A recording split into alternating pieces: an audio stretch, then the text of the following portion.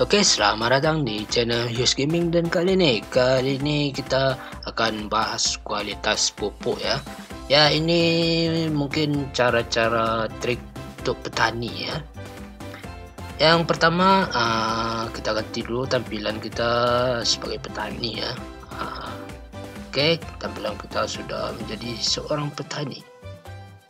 Dan di sini kita akan coba bikin pupuk dari daging ya tapi dengan modal pas-pasan ya ya kita cari kerang dulu. Cari kerang dulu buat dijadikan pupuk buat bertani ya. Oke kita kumpulkan berapa ya? Mungkin 4 dan kita juga akan uji juga kualitasnya dengan bahan-bahan yang lain ya. Oke uh, bahannya sudah ya.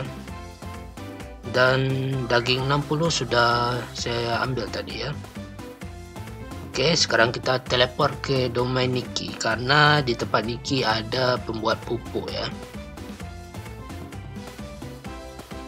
Oke, uh, yang pertama kita bandingkan dulu kualitas pupuk yang dipotong sama daging yang langsung dijadikan pupuk ya. Potong itu raw fish potong raw fish ya. Ikan mentah kita coba dulu potong uh, ini daging. Level 40 saja dulu ya. Kita bandingkan dengan daging biasa ya. Level 40 Oke. Kita coba ya. Kita akan uji hmm, ini. Kita masukkan dua ini ya. Dan daun, daun atau batang terserah ya. Oke, di sini previewnya level 50 yang itu artinya kalau levelnya naik, kualitasnya juga bakal naik ya. Kompos level 50. Oke. Lalu yang kedua, yang kedua kita bikin pupuk berkualitas dengan daging biasa ya, daging langsung ya. Enggak dipotong. Oke. Ini daging kerang level 40 ya dan levelnya itu naik gara-gara daun level 60 ya atau batang. Oke, sekarang kita cepatkan saja. Yang pertama kita lihat dulu yang dengan raw fish. Oke, kita uji di sini. Wow. Oh ya, yang ini ya. Oke, uh, kualitasnya 31. 31 satu pupuknya. Uh, sekarang oke, okay, kita coba lagi. Ini dagingnya nggak dipotong ya. Kualitasnya 65 kalau kita potong dagingnya jadi raw fish itu kualitasnya 31 hmm, seperti itu.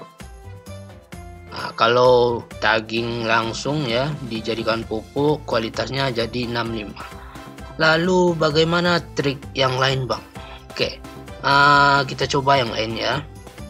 Kita coba pupuk buah ya. Pupuk buah. Dan pupuk dari jamur ya. Kan sekarang kan lagi musim bertanam jamur ya. Kita coba bandingkan dengan buah biasa ya. Ya saya rasa itu sama saja. Oke kompos level 60 ya kompos level 60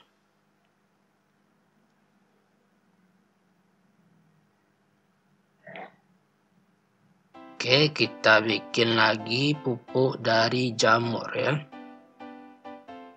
Karena uh, mungkin sebagian orang bingung jamur ini diapain lagi bang ya. Ya, karena mungkin kebingungan ya. Oke, kita cepatkan lagi. Ya di sini warnanya beda ya karena uh, beda warna buahnya ya. Oke ini pupuk dari anggur ini pupuk dari jamur ya. Oke level 60 keduanya ya. 35 kualitasnya 35 hmm, sama ya kualitasnya. Pokoknya pupuk buah 35 kualitasnya. Lalu uh, saya punya trik lain ya tapi kita akan coba setelah ini ya. Setelah kita coba pakai pupuk dari uh, kotoran ya. ya kita coba dari dua kotoran. Oke kita tambah lagi satu lagi. Oh, dua lagi lah ya. Kita akan coba campurkan-campurkan ini ya. Pupuk-pupuk ini. Oke sekarang kita coba pupuk berkualitas dengan kotoran ya. Oke.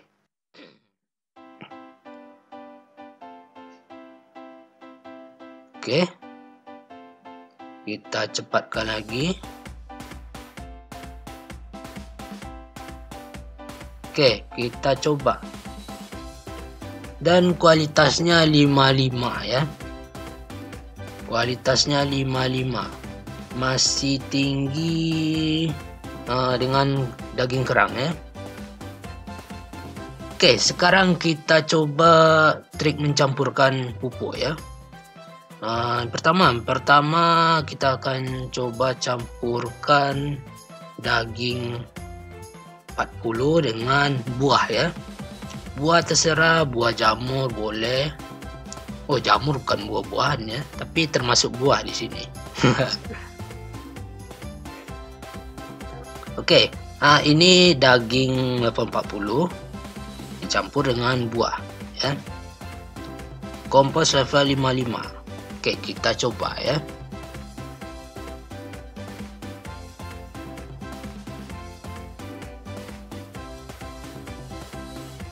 Oke.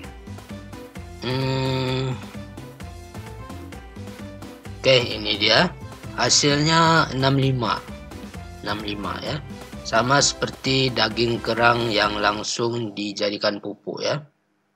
Ya, ini sering saya pakai trik ini. Nah, dengan mencampurkan daging dan jamur ya. Karena jamur tuh banyak sekali di sini ya. Nggak terpakai juga ya. Lebih baik saya jadikan pupuk saja ya.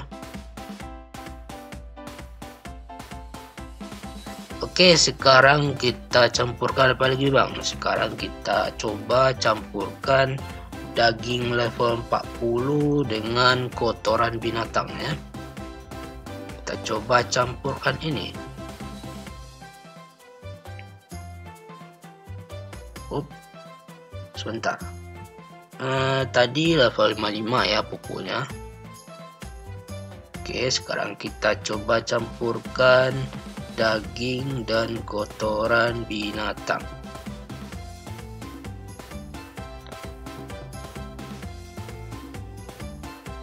Oke kita cepatkan lagi.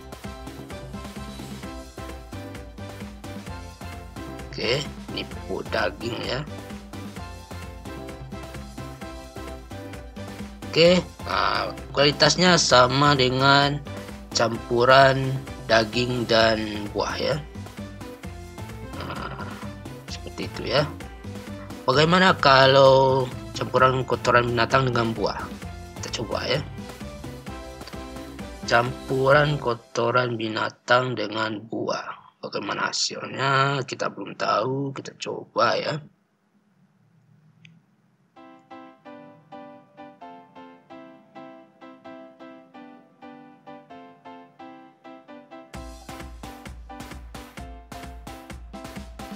Oke, pupuk penyubur berkualitas ya namanya.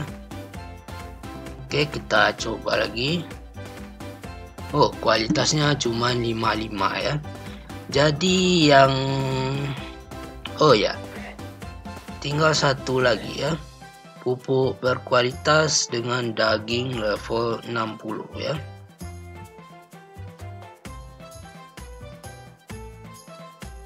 ini sangat berkualitas ya pupuknya karena dagingnya pakai level 60 level 60 ya.